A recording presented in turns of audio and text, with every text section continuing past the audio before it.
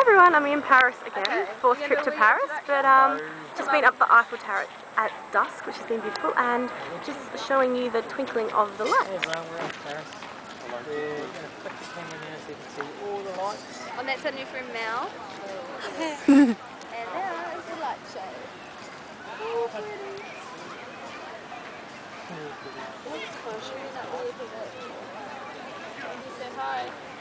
And this is Paris.